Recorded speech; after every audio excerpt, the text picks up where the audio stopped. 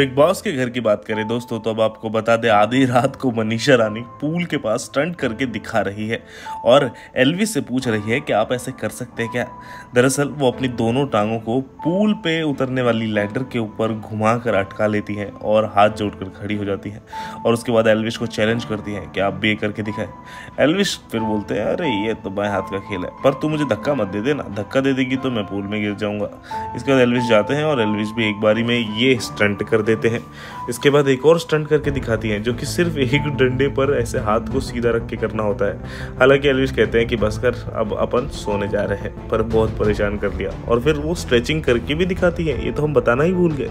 आधी रात को, सोचो लगभग तीन बज रहे हैं, और ये बंदी आपको स्टंट दिखा रही है पूल के पास। आपको कितनी हँसी आएगी? कमेंट ज़रूर कर दो।